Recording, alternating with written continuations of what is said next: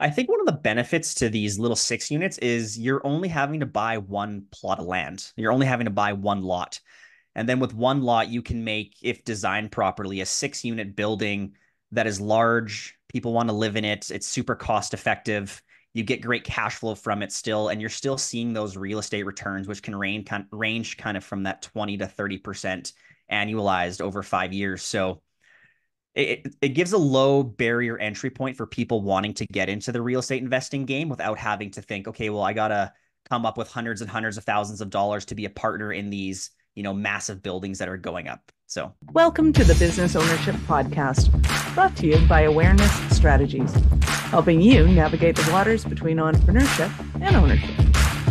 Hey there, peeps. This is Michelle Nedelec, and I'm super glad that you're here with us today because I'm here with my most amazing guest, Mitch. Mitch, thank you so much for being here with us today. Yeah, I'm super excited to be here, and thanks again for hosting me on your show. Absolutely. So, give everybody the highlight of who you are and what you do for business. Uh, so, my name is Mitch Hardington. I am the co founder of Elevation Equity, and we are in the real estate development business. So, we partner with investor capital to build and hold multifamily properties and make people wealthy through real estate yeah, who? Love that. So, how did you get into real estate as your thing? Oh, that's a that's a long story, so I'll try and keep it short-ish. I'll just um, meet myself, think, go for a coffee, and you take care. yeah, you yeah, you don't need to be here for this part. Maybe just write down some notes and be like, okay, these are the follow-up questions I have. So for me, it started back in about 2007, kind of sort of fresh out of high school. I was trying to figure out what I wanted to do with my life where I wanted to go. And I ran across this amazing opportunity to work with a custom home builder out in BC. So I started pushing a broom with this custom home builder, and kind of over the span of seven to eight years, I worked my way up into project management. Uh, it was the owner, myself, and then our team, and we were managing multi-million dollar builds kind of across the Lower Mainland. Um, at the end of year eight, I had this really great opportunity from him. He pulled me aside and said, Hey, I think I want you to take over my company as my successor. This is kind of what the buyout plan will look like. This is what I think would happen. And me kind of being young and naive at the time was like, I think this is a really great idea. I should totally do this, but I should probably talk to my parents first because obviously they're my parents and they know best. And absolutely, this is what I should do. So, like any good son, I talked to my mom and dad and I got the resounding no don't do that. It's terrifying. Don't be an entrepreneur. That's super scary because they were school teachers and they had pensions and they loved their summers off. And they wanted for me what they had because they didn't really understand kind of the world of entrepreneurship. So I was like, yeah, I'm going to listen to you, mom and dad. You're absolutely right. You've never steered me wrong before. So I ended up quitting the job like completely, just bold face. I'm out. See you later. I'm going to go back to school. I'm going to become a school teacher like mom and dad because I want summers off and I want a pension. I know, absolutely crazy. So then I became a school teacher for a couple years. Um, and then right around 2017, uh, while in the middle of becoming a school teacher, realizing it really wasn't for me and was like, okay, well, what do I want to do with my life? I was like, you know what? I was always really good at that building real estate stuff. So maybe I should kind of get back into that. And then that was the birth. That was the birth of real estate investing. That was the birth of buying, flipping, holding, building, the birth of learning a lot, losing a lot of money, realizing that mentors were really important, realizing that roadmaps are super important, um, and started to really learn the business. And then about two years ago, I kind of took all of what I've done since 2017, put it into a business, and we launched about two years ago. I love it. Your old employer must have been heartbroken, though. He like, was. I found a mentee, and this is going to be awesome. This is perfect. All of a sudden, bam, gone. I can still remember it to this day because we were standing outside of the office in the parking lot having this conversation. And when I told him no, he like the look on his face was just, what? what? How could you turn this down? Like you're so good at it. Like you're gonna own the company. Like I'm gonna mentor you through the entire thing. Like this is literally like the silver platter handed to you with everything you could possibly want on it. Like it wasn't going to cost me any money. He was literally just going to pay me more every year and I would get more equity in the company. And then as I started to get more equity and I would get the payouts from that, I was able to buy more equity. Like the plan was literally laid out. And I was just like, yeah, I can't do it. And he just was like, okay. Um, yeah, wild story. Oh yeah, the heartbreak, the heartbreak. But we're super glad you got back into business again and into the real estate side of things. Mm-hmm. And so when you're doing it, you're not. I'm assuming you're not on the uh, Lower Mainland anymore. Where where is your business taking you now? So I currently live in Calgary. Uh, my business is based out of Calgary, but right now we are pretty heavily investing into the Edmonton market. There's just a lot of really great things happening there in terms of land acquisition. The team is really great up there. I've got a lot of really great contacts, and we're able to do, you know, what anybody could do in Calgary for half to three quarters of the land acquisition price. The rent is almost the same. The economy is doing the same, if not better, up there. So the investors are pretty happy with the the direction we've gone lately. Nice. I love it. So when it comes to investors working with you, are they working on single projects? Are they working on multiple projects? How does that all kind of play out? Yeah, so most of the investors I have right now is we I, I partner with them from the start and we kind of custom tailor what they're looking for. So like I said, I'm really in the multifamily space. So we started about six unit buildings and go up from there. And it really just depends on what the investor is looking for. Do they want to solely own a project together with me? Are they looking to be like a limited partner on a bigger project? Kind of what are they looking for? What's their timeline? How long do they want their money to sit? How long are they okay with it sitting for? You know, are they looking for more equity? Are they looking for more cash flow? So really every project is kind of custom tailored to the people that I work with. Nice. Well, I know the the six unit um, complexes in particular have kind of leaps and bounds kind of come onto the market as a thing, um, especially here in Calgary. And I'm assuming Edmonton has as well. From an investment point of view, what's the kind of benefit to that and the perks to it if people aren't familiar with them? I think one of the benefits to these little six units is you're only having to buy one plot of land. You're only having to buy one lot. And then with one lot, you can make, if designed properly, a six unit building that is large. People want to live in it. It's super cost effective. You get great cash flow from it still, and you're still seeing those real estate returns, which can range kind range kind of from that 20 to 30% annualized over five years. So it, it gives a low barrier entry point for people wanting to get into the real estate investing game without having to think, okay, well, I gotta come up with hundreds and hundreds of thousands of dollars to be a partner in these you know massive buildings that are going up so and when it comes to the maintenance and kind of the day-to-day operations do you guys take care of that as well or do you sign that off to somebody else? How does that work? Yeah so that's part of the business model that we have is everything is done by us from land acquisition all the way through to tenant placement tenant management budgeting accounting quarterly reporting taxes it's all done by us. Money goes into your account. You get to get a quarterly report from us to see exactly how the building is doing and we just we run it hands off so that you get to enjoy the benefits of real estate investing without having to worry about well what are the tenants doing? What's my building doing? You just get the reporting and being like yeah i think real estate is awesome. Nice. I love it. When it comes to canadian in uh, real estate and investing in particular alberta in particular edmonton take the conversation anywhere you want to. Are there any differences that you've noticed other than kind of yeah the market's doing well we're renting well? Are there any kind of outlying factors that you want to consider when looking at where you're doing business yeah i think the biggest thing that people look over is they always think that i should invest where i live because people think that it's really good to be able to go touch it feel it look at it but I've learned over my time that where you live necessarily isn't the best place to invest. You really have to look at the whole kind of scheme of things. You have to look at the GDP of the area. You have to look at the average income. You have to look at job growth. You have to look at land acquisition costs. You have to look at trades available.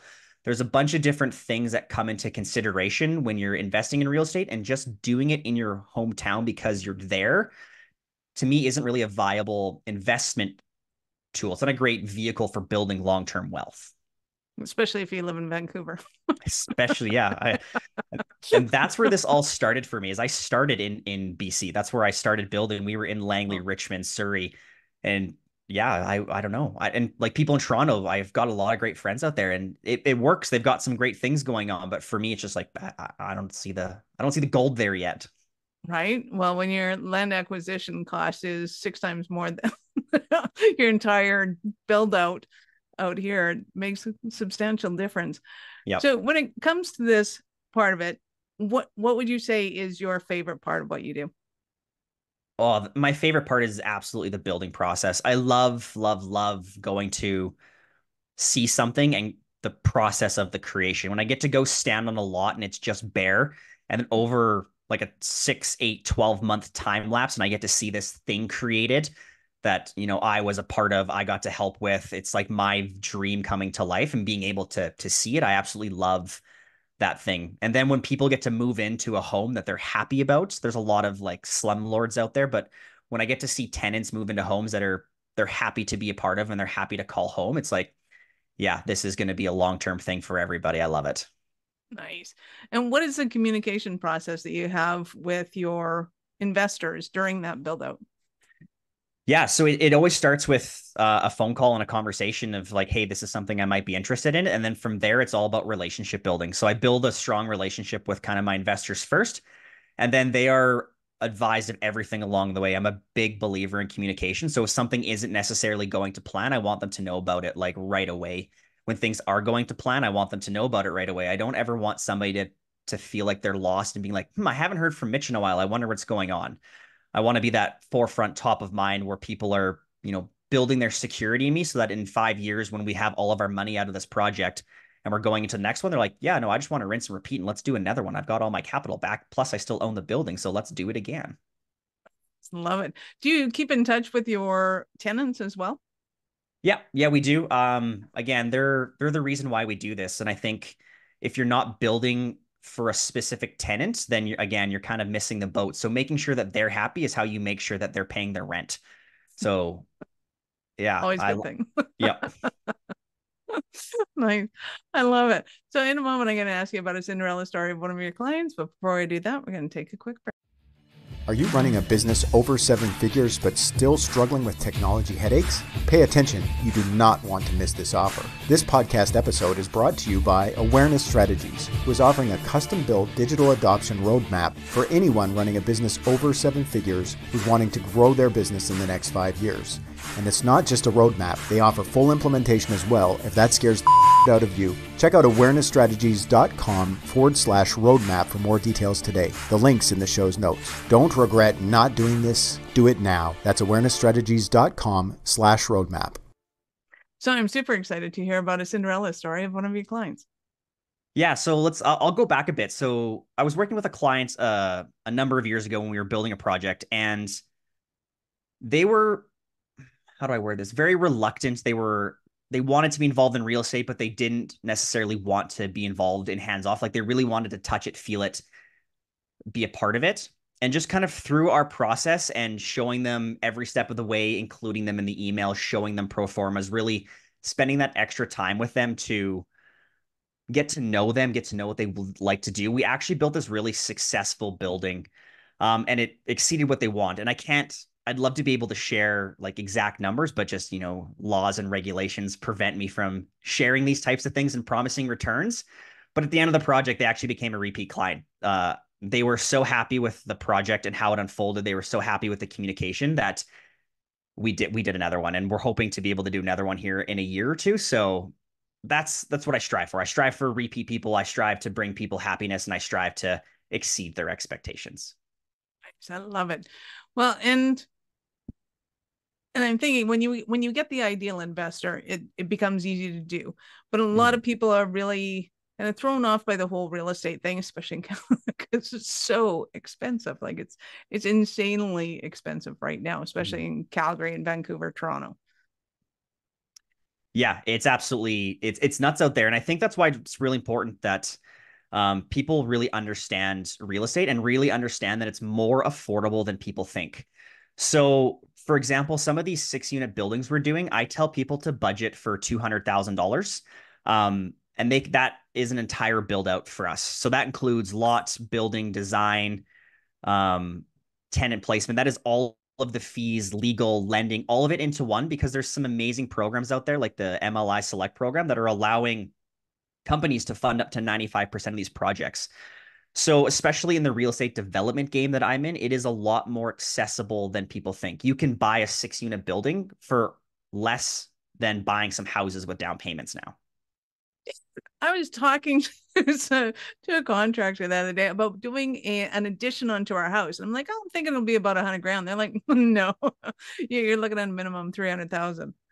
So even yeah. in that realm, I'd be better off to go invest with you, get a sixplex, get some rental, and then fund the fund the addition onto the house because the addition is not going to make me any money. No, exactly. And I think that's the whole like rinse repeat model, right? If you've got the if you've got capital laying around, why not put it into something that you can own for 20 to 25 years at minimum, right? And a lot of people are like, "Well, I don't have that money." It's like, "Well, do you own a house?" Yeah. Well, you probably have more than enough equity in your house to be able to pull a little bit out.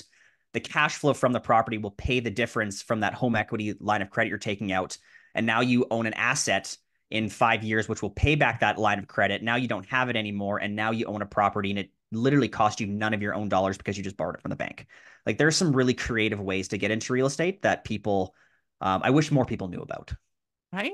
Well, and peeps, if you're listening to this right now and you just blew your mind, I think it's really important that you sit down with Mitch, have a conversation because it's it really is about understanding the resources that are there for you and why they're there for you right? The economy needs you to build, and there are incentives there for you in order to be putting your uh, economics into this in order to make it grow. So it's a beautiful thing. Um, I know people are going to want to start that journey with you. So how do they get that started? Yeah, the easiest ways are uh, you can email me directly, which is Mitch at elevationequity.pro. Uh, you can head to our website. There's a, a form there where you can actually book a quick 15 minute call with me. We can have that conversation, which is elevationequity.pro. Uh, over on my LinkedIn is the, the other best way, which is just LinkedIn and then slash Mitch Hardington REI. Those are kind of the three best ways to get a hold of me. Nice. We will, of course, have all of Mitch's links in the show notes. So go ahead and scroll down, click on the links, open up in a new browser because we're not done yet. So, Mitch, I get to ask you, and you kind of alluded to this, but uh, I want I want the inside scoop of this. Is at what point in life did you know you're especially kind of crazy enough to think that you could become an entrepreneur? Oh my goodness. You know what? I really knew it kind of early on when I was working with this company, being like, there's more for me. I I want more for my life. I don't want to I don't want to trade time for money. Uh, like a regular job i kind of want to be financially free but i really didn't understand it until kind of that 2017 2018 uh, housing trend when i was losing a whole bunch of money but in the process being like man i'm so thankful for all of the things i'm learning right now. That's really when it clicked for me being like yeah no this is this is what i'm going to do because i realized that if i could just pull together these few other pieces in terms of mentor mentorship and growth that i could become an unstoppable force. I love it. And before i let you go what do you think is the trend in real estate in the next few years whatever that uh, means to you. yeah, I think the trend is is the one that I'm in. It's development. There's only so much land. You can only, you know, renovate so many houses. At some point, you have to add density to things. You have to, if we're going to keep growing the way we are, you have to build more houses. So if you're not in the space where you're adding more units to places, but then I think you're behind. But it's all about adding density in a way that is um, desirable, not the not the the cheap way. I love it. You've been absolutely awesome. Any last words for our peeps? No, I just uh, I'm so thankful that you had me on the show today. I really hope that you know I get to add some value because I know you have a great base of listeners out there, and I'm really looking forward to kind of continuing some conversations with you in the future. I love it. Absolutely. Thank you so much for your time. I appreciate it, and I know how valuable it is. Thank you. Awesome. Peeps, this is Michelle Nedelec. Thank you for being here with us today. Be sure to subscribe to the show and share it with your friends. We love helping entrepreneurs grow.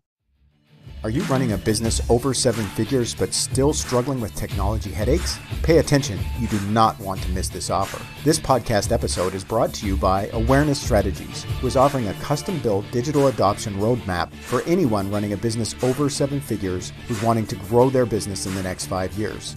And it's not just a roadmap, they offer full implementation as well if that scares the out of you. Check out awarenessstrategies.com forward slash roadmap for more details today. The link's in the show's notes. Don't regret not doing this. Do it now. That's awarenessstrategies.com slash roadmap.